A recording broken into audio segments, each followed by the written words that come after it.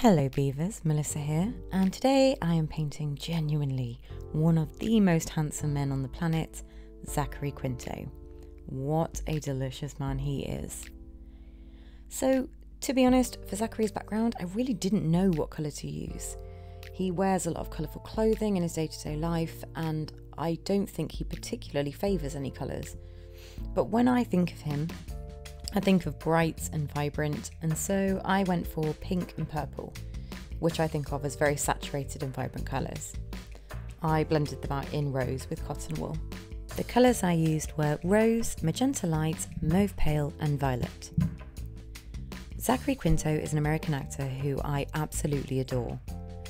The first thing I saw him in, although it wasn't his first role, was playing Sylar in the TV series Heroes. And then he went on to play Spock in the J.J. Abrams Star Trek movies. And whilst Leonard Nimoy will always be my favourite Spock, Zachary really nailed that role, and he is arguably the most handsome Spock. Although Ethan Peck sure gave him a run for his money with that beard. Mm. One of my absolute favourite performances of his was as Bennett in the 2015 film I Am Michael, alongside James Franco and Emma Roberts. It's the story of Michael Glatz, who denies his homosexuality and chooses to become a Christian pastor.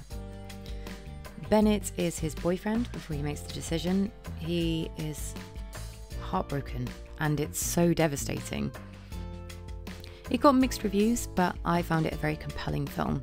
The story is unusual because it's true, and I have never heard of anybody making that decision after being openly homosexual for a long time.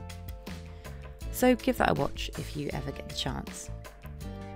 Quinto has starred in series such as American Horror Story, Hannibal, and Unbreakable Kimmy Schmidt.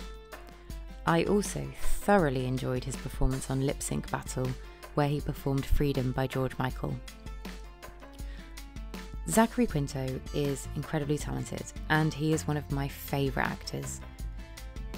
This painting is not one of my greatest successes, but this can often be the case with people who are very attractive. Their faces are smooth and don't cast many shadows for them to work with my style of artwork.